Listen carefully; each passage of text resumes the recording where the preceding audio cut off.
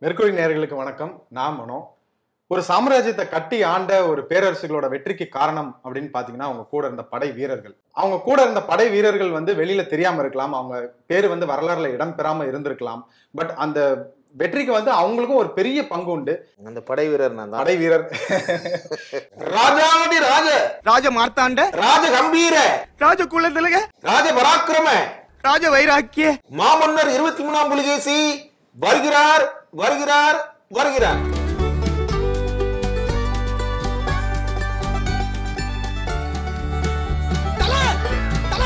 சீக்கிரம் வெளியே வா தல. ஆனா உங்க பேர் வந்து டெலிபோன் ராஜ். உங்களுக்கு முத்திரை பதிக்கப்பட்ட ஒரு வசனம் ஒண்ணு இருக்கு. அது நீங்களே சொல்லிருங்களேன். அழகா மடிச்சு கம கம கமன்னு ஒரு ஊத்தப்பத்தை எடுத்துட்டு வாங்க. சரிங்க. அண்ணனுக்கு ஒரு ஊத்தப்பம். அண்ணனுக்கு ஒரு ஊத்தப்பம். நீங்க ஃபர்ஸ்ட் ஃபர்ஸ்ட் வடிவேல் அண்ணனை பார்த்தது எங்க? எந்த படத்துல? அது சார் நான் டைரக்டர் ஏ வெங்கடேஷ் சாருடைய எல்லா படமும் எனக்கு அவர் வாய்ப்பு கொடுப்பாரு. பகவதிங்கிற படத்தில் எனக்கு ஒரு ப ஒரு சீன் இருக்குது அது வடிவேல் சார் கூட நடிக்க போகிறேன் அப்படின்னு சொல்லி கூப்பிட்டுருந்தாங்க. திருப்பூர் ஒரு முருகன் கோயிலில் ஷூட்டு ட்ரெஸ் எல்லாம் காமிச்சேன் டைரக்டர்கிட்ட "ஆ, இது போட்டுக்கோ இந்த சட்டையை மாற்றிக்கோ இது அப்படியெல்லாம் போட்டுக்கோ. ஆ டைலாக் இது தான் எல்லாம் சொல்லிட்டாங்க. ஓகே. நேராக வடிவேல் சார்ட்ட கொண்டு போய் நிறுத்துறாங்க. வேணான்ட்டாரு. வடிவேல் அண்ணன் வந்து வேணாம் ஆமா. வேணாம் வேணாம். வேற யாராவது போடுங்கப்பா ஏ ஸ்டீபனுங்க வா. இன்னும் ஒரு கோடரேட்டர் ஒருத்தர் சொல்றாரு. அவரு நான் அந்த குடியாரங்கேட்டர் பண்ணிட்டேன் அப்படின்ட்டாப்புல அப்ப வேற யாராவது போடுங்கப்பா. அண்ணே, நான் நீ நீங்க கூட நடிக்க போறேன்னு ஒரு ஐயாயிரம் பேர்ட்டு சொல்லிட்டு வந்துட்டேன். கொஞ்சம் அதெல்லாம் டைம் வேணும். போப்பா பாயான்ட்டாரு. என்னடா இது? நம்ம சும்மா சாதாரணமா வரலையே. கிட்டத்தட்ட பதினேழு வயசுல அங்க வந்தது. நடிக்கிறதுக்குன்னு வந்து நான் பட்ட அவமானங்கள்லாம் நிறைய பேர் சொல்லுவாங்க நான் பட்டேன் நான் பட்டேன் நான் நினச்சி பார்ப்பேன். நான் பட்டதில் ஒரு பர்சன்ட் பார்த்துட்டு பண்ணிருப்பாங்களா அவமானங்கள்? ரோட்டோரம்லாம் இட தங்குறதுக்கு இடம் ரோட்லலாம் படுத்து தூங்கியிருக்கேன். நான் மட்டும் தனியாக தூங்கினா பரவாயில்ல. மெட்ராஸுக்கு எங்கள் அப்பா வந்திருக்கிறாரு. கன்னியாகுமரியிலேருந்து பையனை பார்க்கறதுக்குன்னு. இங்கே எனக்கு இருப்ப இருக்கிற இடமே கிடையாது.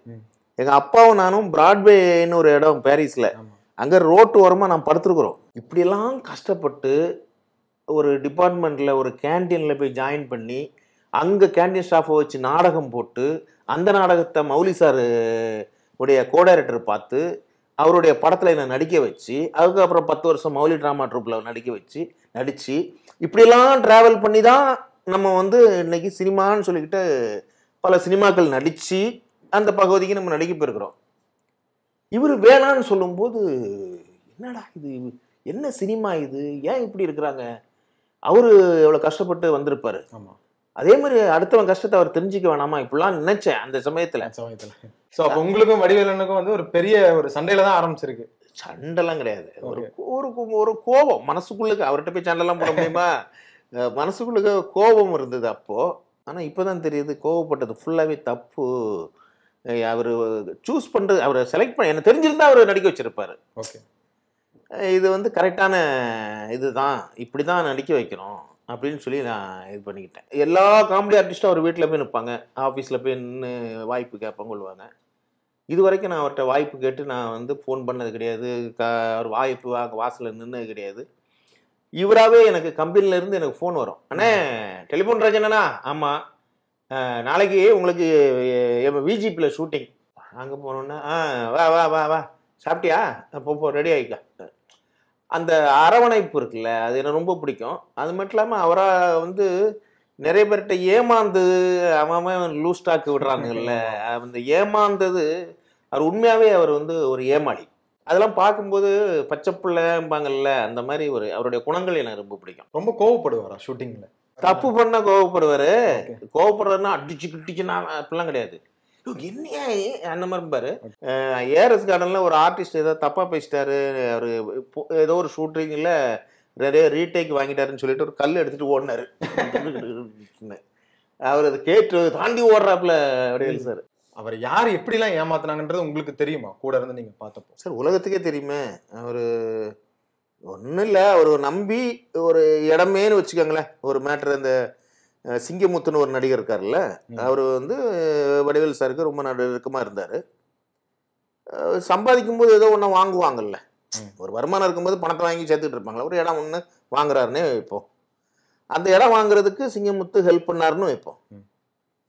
லாஸ்ட்ல என்ன ஆச்சு இது அந்த இடம்? என்னென்ன அதாவது ஒரு ஒரு லட்ச ரூபாக்குள்ள இடத்த ஒரு லட்ச ரூபாய்க்கு மதிப்புள்ளதை வடிவேல் சாருக்கு பத்து லட்ச ரூபான்னு விற்கிறது ம் ஓகே. இதில் இவர் கொஞ்சம் சம்பாதிச்சுக்கிறது. யாரு?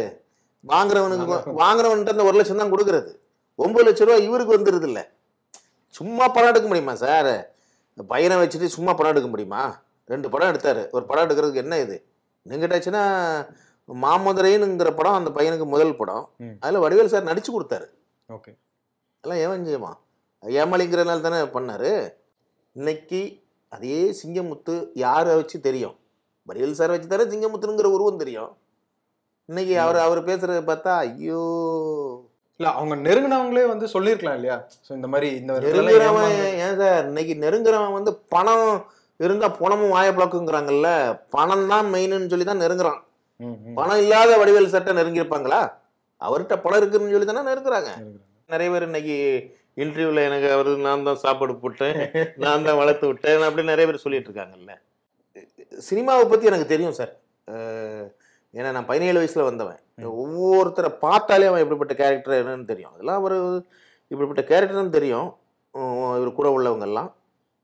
ஆனால் வடிவேல் சார் அதை விட ஜட்ஜி பண்ணுறவர் ஏன்னா அவரும் அடிபட்டு தானே வந்திருக்கிறாரு. ஜட்ஜி பண்ணுறோன்னு நினச்சேன். சில விஷயத்தில் அவர் ஏமாந்துட்டார். நீங்க ஒரு 150 படம் நடிச்சிருக்கீங்க. இரநூறு படம். 200 படம் நடிச்சிருக்கீங்க. சோ இந்த 200 படத்துல நீங்க நல்லா வரும். இந்த காமெடி ஒர்க் அவுட் ஆகும் அப்படின்னு நீங்க நினைச்ச காமெடி ரெஜிஸ்டர் ஆகாம இருந்திருக்கும் மக்கள் மத்தியில. இப்போ கடல் படம் எடுத்துக்கிட்டிங்கன்னா மணிரத்ன சாருடைய கடல் படத்தில் ஒரு பதினஞ்சு நாள் வரைக்கும் நான் நடிக்கலை. பதினாறாவது நாள்லேருந்து எனக்கு ஒரு சீனு ஒரு டெட் பாடியை கா காலை ஒடிச்சு இது உள்ளுக்க ஒரு புன ஒரு சவப்பட்டி உள்ளுக்க நுழைக்கிற மாதிரி பொன்வனன் சட்ட டைலாக்கு சட்டுக்களி மேலே போனாலும் சட்டுக்களி காலி காலு உள்ளே போதா பாரும் அப்படின்னு ஒரு டைலாக்கு அப்புறம் அவர் பேசுவார் நான் பேசுவேன் இந்த மாதிரி சீன்ஸு மணிரத்னம் சார் வந்து அந்த சீன் முடிச்சதும் மைக்கில் அனௌன்ஸ் பண்ணுறாரு டெலிஃபோன் ராஜ் இருந்தார் அடடா நம்ம பேர்லாம் அவருக்கு தெரியுதான்னு சொல்லிட்டு போனேன். வெரி குட்னாரு தேங்க்ஸ் சார்ண்ணே வெரி வெரி குட்னாரு ரொம்ப ரொம்ப தேங்க்ஸ் சார்ண்ணே ஏன்னா அதிகமாக பேசினா உடனே வீட்டுக்கு அனுப்பிட்டு வரான் ஓ அப்படி. ஆமாம் அப்படி சொல்லிட்டாங்க. அதுக்கு அடுத்த நாள் வந்து டெய்லி ஒரு சீன் சார் டெய்லி ஒரு சீன் இருக்கும். நான் ஒரு இருபத்தஞ்சி சீன்லாம் பண்ணியிருப்பேன் அந்த படத்தில்.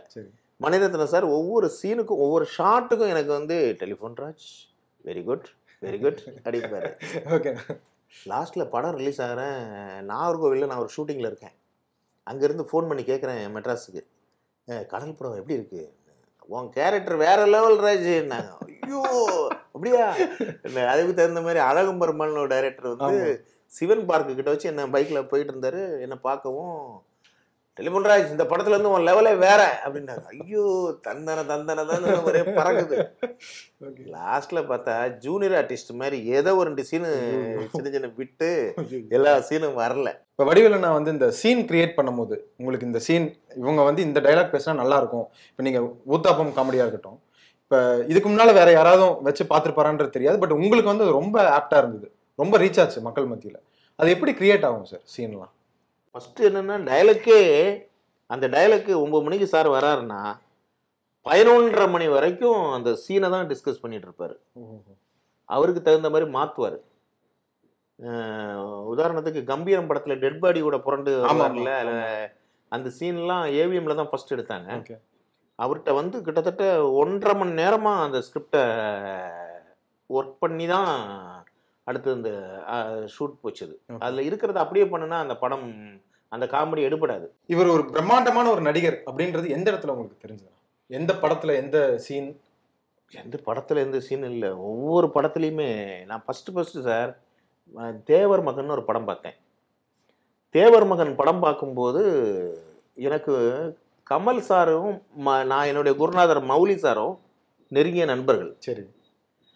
அப்போ நான் வந்து பல வருஷமாக நினச்சிருக்கிறேன். கமல் சாரை மீட் பண்ணி சார் நான் மௌலி ட்ராமா ட்ரூப்புன்னு சொல்லணும். அப்போ அவர் வந்து அவர் ஒரு படத்தில் வாய்ப்பு கொடுப்பாரு. அப்படின்னு ரொம்ப நாள் நினச்சிக்கிட்டு இருக்கேன். அப்புறம் ரெண்டு மூணு தடவை ஆழ்வார்பேட்டை போயிட்டுலாம் வந்தேன். அங்கே வாட்ச்மேன் அந்த ஹிந்திக்காரனெல்லாம் உள்ளே விட மாட்டேன்ட்டானுங்க அப்படின்னு விட்டுட்டேன்னு வைங்க. ஃபஸ்ட்டு டைம் இப்போ தேவர் மகன் படம் பார்க்குறேன் பார்க்கும்போது வடிவேல் சாரை பார்க்குறேன் எவன்டா அவன்? இந்த கேரக்டர் நம்ம மிஸ் பண்ணிட்டோமே. நேர வடிவேல் சார் கமல் சாரை போய் பார்த்துருந்தா ஒருவேளை இந்த கிடைச்சிருக்கும். அப்படின்னு நான் பார்த்தேன். ஏன்னா அப்போ அன்னைக்கு அவருடைய நடிப்பை பார்த்தேன். அப்புறமா அவர் இந்த ஒவ்வொரு படங்களை நம்ம பார்க்க பார்க்க பார்க்க ஐயோ இந்த மாதிரிலாம் வாழ்க்கையில் நாமலாம் நான் வந்து என்ன வந்து மிகப்பெரிய நடிகர்னு நானே மாரத்தட்டி பிறவே சண்டை போட்டிருக்கேன். சரிங்க. என்ன மாதிரி நடிக்க முடியுமா? ஓகே. வர்றியா? சேலஞ்சா? அப்படிலாம் நான் சண்டை போட்டிருக்கேன். இதை பார்த்ததுக்கு ஐயோ இன்னும் கற்றுக்க வேண்டியது எவ்வளவோ இருக்குன்னு அவருடைய சில சில சில விஷயங்கள்லாம் நான் எடுத்துக்குவேன். இப்போ கேமரா இருக்கு கேமரா அப்படி பார்த்து தான் நம்ம நடிக்கணும்னு இல்லாமல் அவர் என்ன பண்ணுவார்? இங்கெங்கெல்லாம் போவார். ஆமா ஆமா இங்க இங்கெல்லாம் போயிட்டு இப்படி வருவார். ஆமா. அதெல்லாம் அவரை பார்த்து நான் சில இதுகளை நான் ஃபாலோ பண்ணிக்கிட்டேன். ஆனா இந்த பத்து வருஷம் வந்துட்டு வடிவேலனுக்கு வந்து படம் இல்லை. ஸோ அவரு வந்து எவ்வளவு கஷ்டப்பட்டாரு அப்படின்றது எல்லாத்துக்கும் தெரியும். அண்ட் அவர் கூட ஒர்க் பண்ணவங்க அவர் கூட வந்து காமெடியில நடிச்சவங்கள வந்து எவ்வளவு கஷ்டப்படுறாங்க அப்படின்றது தெரியல. ஸோ அந்த டைம்ல எப்படி இருந்ததுண்ணா? அவருக்கு நிறைய வாய்ப்புகள் வந்தது. அவர் தான் வேணாம்னு சொல்லி கொஞ்சம் ஒதுங்கிட்டு இருந்தார். ஓகே அவர் அது நிறைய டைரக்டருங்க பார்த்துட்டு கதை சொல்லிக்கிட்டுலாம் தான் இருந்தாங்க. அது எனக்கு நல்லா தெரியும். ஆனால் எங்களை மாதிரி ஆளுங்களுக்கு வந்து வடிவேல் சார் இல்லைன்னா இப்போ என்ன எடுத்துக்கிட்டிங்கன்னா எனக்கு வந்து புது நிறைய கம்பெனிகளுக்கு போய் அவமானப்பட்டு நிறைய அவமானங்கள். பட்டு இப்போ ஒரு கம்பெனிக்கு போய் வாய்ப்பு கேட்குறதுக்கு எனக்கு நான் போய் கேட்டது கிடையாது. ஓகே. அப்படின்னு போகிறதுக்கு அசிங்கமாக இருக்குது வெக்கமாக இருக்குது. இதே மாதிரி நிறைய நடிகர்கள் வந்து இன்னைக்கு வாய்ப்பு இல்லாமல் என்ன பண்ணிட்டு இருக்காங்கன்னா ஸ்கூல் ப்ரோக்ராமில் சீஃப் கெஸ்ட் மாதிரி போயிட்டு. அங்கே போய் ரெண்டு டான்ஸு ஸ்கூலில் ஸ்கூல்ல கல்யாண வீட்டில் சில கல்யாணங்கள்லாம் என்ன பண்ணுறாங்க ஒரு கல்யாணத்துக்கு போனால் மூவாயிரரூவா ஐயாயிரரூவா பத்தாயிரரூவா அப்படி கொடுப்பாங்க. சாப்பாடு போடுவாங்க. அங்கே வந்து சீஃப் கெஸ்ட் மாதிரி போய் கா பார்க்குறது அந்த கல்யாண மண மணமக்கள் பக்கத்தில் நின்று டான்ஸ் வருமானம்னு ஒன்று வேணும் இல்லை. அதுக்கு வேண்டிய ரெக்கார்ட் டான்ஸ் மாதிரி. வெங்கல் ராவ்னு. ஒரு எவ்வளோ பெரிய வயசானவர் ஃபைட்ரு நல்ல நடிகர். கல்யாண வீட்டில் டான்ஸ் ஆடுறாரு. இறந்து போன அல்வாவாஸ் இருக்காரு எவ்வளோ பெரிய நடிகர். அவரை நான் ஒரு கல்யாண வீட்டில் நான் பார்க்குறேன் டான்ஸ் இதெல்லாம் எவ்வளவு வருத்தத்துக்குரிய செயல் பாருங்க. ஏற்கனவே நான் வந்து ஒரு இரநூறு படம் பண்ணியிருப்பேன் சார். ஒரு ஐம்பது மெகா சீரியல். ஒரு ரெண்டாயிரம் மேடை நாடகங்கள். இது இல்லாமல் ஆடு காமெடி ஷோ அது அண்ணா கூட எத்தனை படம் நடிச்சிருப்பீங்க? ஒரு இருபது படம் இருக்கும். கன்ஃபார்மாக இரு இருபது படம் இருக்கும். இவ்வளவு நடிச்சும் நம்ம வந்து இன்னைக்கு யார் கூப்பிடுவாங்கங்கிற மாதிரி உட்கார வேண்டிய நிலைமையில இருக்கு. என்ன ஒன்று நாங்கெல்லாம் நடிப்புக்காக வேண்டி எங்கள் வாழ்க்கையே நாசம் பண்ணியிருக்கோம். எத்தனை பேர்? தீப்பெட்டி கணேசன்லாம் பாவம் ஆட்டோவில் செத்து கிடந்தானா எத்தனை பேர் பிச்சை எடுத்துக்கிட்டு இருக்காங்க இன்னைக்கும் சாலி கிராமத்தில் பிரசாத் ஸ்டுடியோக்கு எதிர காவேரி டீ கடையில் போய் பாருங்கள் ஒரு டீ வாங்கி தரமாட்டானான்னு சொல்லி எத்தனை பேர் நிற்கிறான்னு பாருங்க. பெண்கள்லாம் தப்பான வழியில் போக ஆரம்பிச்சிட்டாங்க. ஆம்பளைங்கள்லாம் என்ன வேலை கிடைச்சாலும் பரவாயில்ல ஏங்கிறா இருக்கான். செலவன் வந்து எந்த வேலையும் தெரியாதவன் பிச்சை எடுத்துக்கிட்டு தெரியுறாங்க அண்ணா பத்து ரூபா அப்படின்ட்டு இருக்கிறாங்க ஏன் இந்த டைரக்டருங்க வந்து இப்படி கொடுக்கக்கூடாது? வாய்ப்புகள் கொடுக்கக்கூடாது. ஊருக்காரங்களையே நடிக்க முடியாது நான் ஓடுறவனை பைக்கை வச்சு துரத்தி நடிக்க வைக்கணுமா? அப்படி என்ன நேட்டிவிட்டி எங்க நம்ம நேட்டிவிட்டிக்கு நடிகர் சங்கத்துல எத்தனை ஆயிரம் பேர் இருக்காங்க? எந்த மாதிரி நேட்டிவிட்டி வேணும்? இருக்காங்கல்ல அவங்கள வச்சு நடிக்க வைக்க வேண்டியதானே நாற்பது பேரை கதை கதை சொல்றவங்களை குறை சொல்லியிருக்காங்களே கதை தான் சினிமாவில் முக்கியம். முக்கியம். அந்த நாற்பது பேரும் கதை சொல்றதுக்கு அவன் எவ்வளவு திங்க் பண்ணியிருப்பான்? என்னென்ன யோசனை பண்ணியிருப்பான்? எத்தனை நாள் தூங்காம இருந்து கதை சொல்லியிருப்பான்? அதை அவமரியாதைப்படுத்துறதுன்னா என்ன காரணம்? செலக்ட் பண்ணின ஆள் சரியில்லை.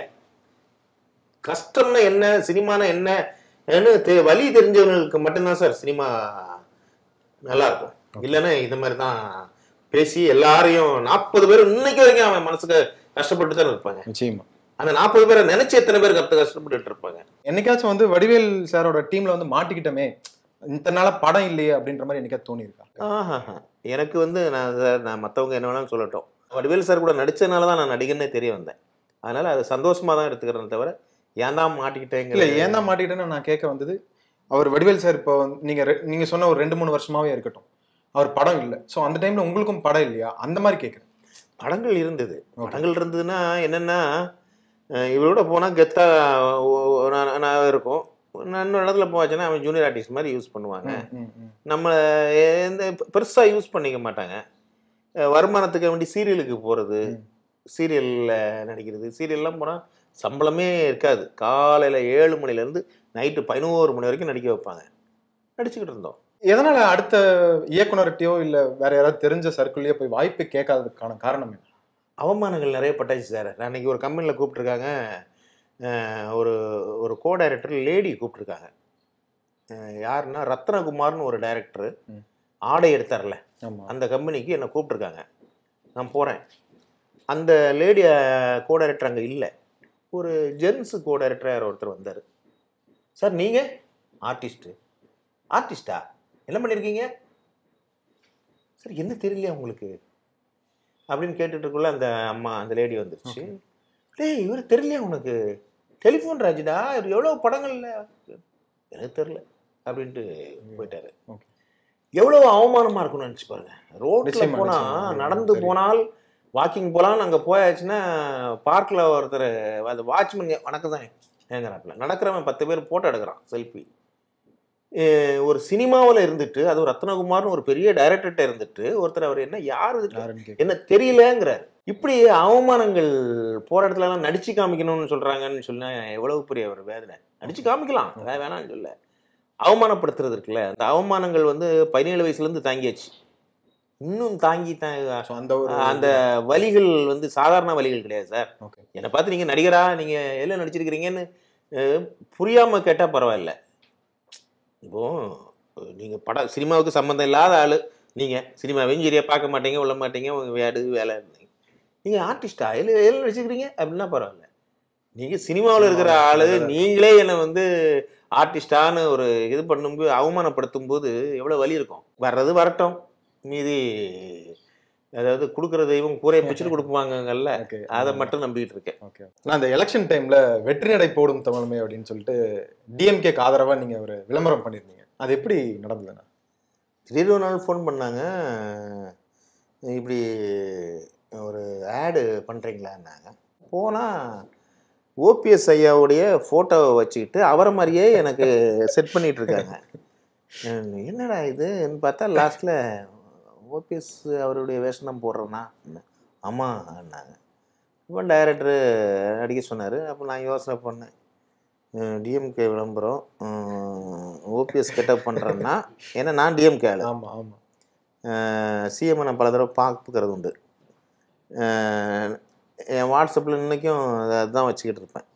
சிஎம்மோட இருக்கிற ஃபோட்டோ. அந்த அளவுக்கு நான் டிஎம்கே வெறி பிடிச்சவன் Okay, நான். அந்த என் குடும்பம் மாமனார் குடும்பம் எல்லாமே. டிஎம்கே தான்.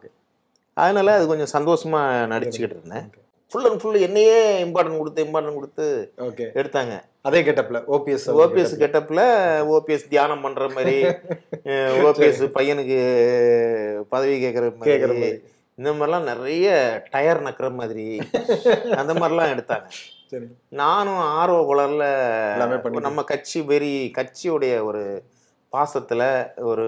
ஒரு இதுல பண்ணிட்டேன். அதை பண்ணினதுக்கு அப்புறம் சார் ரோட்ல நடக்க வர மாட முடியல. யாரை பார்த்தாலும் எல்லாம் அடிக்க பார்க்குற மாதிரியே இருக்கு. நிறைய சாதாரணமா பார்த்தாலே உங்களுக்கு அது ஒரு இது இருக்கும். ஆமா. ஏன்னா கடையில போய் ஒரு ஜாமான் வாங்கிட்டு இருப்பேன். ஏய் இங்க வா. என்ன நாலு பேர் சுத்தி மிரட்டுவாங்க. அவன் அவன் தண்ணி அடிச்சுக்கிட்டு சிலவன் ஒரு நாளைக்கு ஒருத்தன் இப்படி காலர் அப்படி சுத்தி இழுத்தான். இந்த வெற்றி நடை போடும் தமிழமே அதை நீங்க முடிச்சிட்டு வந்ததுக்கு அப்புறம் வீட்ல எதுவும் ஏன் இதை நீங்க பண்ணீங்க அப்படின்ற மாதிரி கேட்டாங்களா இங்கேயே வராதீங்க கொஞ்ச நாளைக்கு. ஆஃபீஸ்லேயே ஸ்டே பண்ணிக்கங்க. பயத்துல. இங்கே வராதீங்க. ஏன்னா இங்கே வந்து டிஎம்கே ஏரியா அந்த அந்த அந்த நம்ம தெருவுக்கு அந்த பக்கம் ஃபுல்லாக ஏடிஎம்கே எங்கள் தெருவில் மட்டும்தான் டிஎம்கே. அதனால் சுற்றி வரணும்னா அவங்கள தாண்டி தான் வரணும். ப்ராப்ளமாக இருக்கும். நீங்கள் வந்து உங்கள் ஆஃபீஸ்லேயே ஸ்டே பண்ணிக்கங்கன்னு சொல்லி ஸ்டே பண்ண சொன்னாங்க. பயந்தாங்க ரொம்ப. ரொம்ப பயந்தாங்க. எல்லாருமே பயந்தாங்க. நானும் அதுக்கு தகுந்த மாதிரி ஆஃபீஸ்லேயே ஸ்டே பண்ணிக்கிட்டு இங்கேயே உள்ளேயே உட்காந்து டிவி பார்த்துட்டு வெளியில் போனோம்னா ஒரு கண்ணாடி கண்ணாடி மாட்டிட்டு அப்படியே ஹெல்மெட்டை மாட்டிட்டு அது மாதிரி ஒரு மாதிரியா திருட்டு திருடிட்டு போன மாதிரியே தான் கொஞ்ச நாள் நடந்தேன். அந்த வணக்கம் எங்களுக்கு அவர் வாட்டி. வணக்கம் அவர் வந்து கொஞ்சம் ஜிம் பாடி மாதிரி டைப்பில் அந்த இது இப்படிலாம் இருக்குள்ள ஆளு கிடையாது. இப்படி உட்காந்து இப்படி தான் உட்காந்துருப்பாரு அந்த வணக்கம் இப்படிப்பட்டவங்க வணக்கம் இவர் தான் போடுவாங்க ஓகே ஆமா. ஆமா இதுதான் இது. நின்னாருன்னா அவர் வந்து இப்படி இப்படி கை கட்டி தான் இப்படி இப்படி தான் நிற்பார் ஆமா ஆமா. மேக்ஸ் ஒரு ஃபோட்டோக்கு போஸ் கொடுத்தா கூட இப்படி தான் நிற்பார் வணக்கம் போடுறது இதுதான். ரெண்டாயிரத்தி பதினொன்னுல வடிவேலனோட பிரச்சாரத்துக்கு அப்புறம் ஒரு பெரிய மாற்றம் இருந்தது வடிவேலனாக்கு. ஸோ இந்த இதுல நீங்க வந்து ஒரு ஆட்ல நீங்க நடிச்சப்ப ஏதாவது சொன்னாரா? அதை பத்தி எதுவும் பேசினாரா?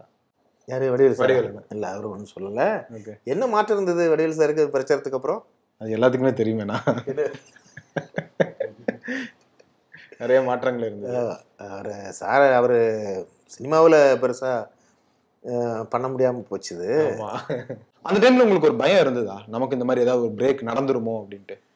பிரேக் இப்பவே பிரேக் மாதிரி தான் இருக்கு. லைஃபே பிரேக் மாதிரி தான் போயிட்டு இருக்கு. அதெல்லாம் ஒன்றும் இல்லை சார். அவர் எவ்வளோ பெரிய ஜாம்புவான் அவர் ஹீரோவா படம் ஃபுல்லாக எவ்வளவோ படங்கள் மக்களுக்காக வேண்டி கொடுத்தாரு. நம்ம அப்படி இல்லையே. ஒரு சின்ன டிசைன் அதனால ஒன்றும் பெரிய இதெல்லாம் இல்லை. வடிவேல் சாரோட பர்சனல் லைஃப் வந்து நிறைய இடத்துல வந்து அவர் சொல்லலை. அது என்ன காரணம்?